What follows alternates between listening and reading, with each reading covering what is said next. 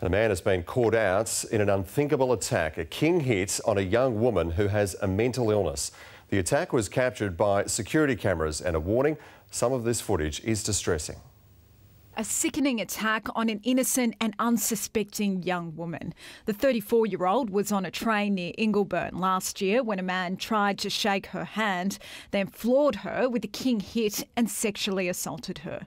Today, David Marlon was sent to jail for at least nine years, and one of his other victims was there to applaud it his ex wife, Margaret Dixon. Woke to him on top of me, headbutting me into unconsciousness. My babysitter actually who was only 15, ran up the stairs screaming, which caused him to stop. He's just an animal.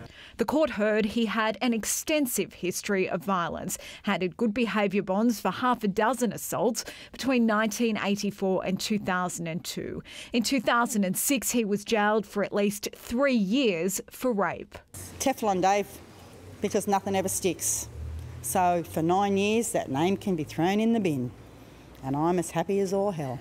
The victim of the most recent attack was even more vulnerable because she was suffering a mental illness. Judge Paul Conlon told the court she was simply helpless to protect herself from this forceful, vicious, and determined attack.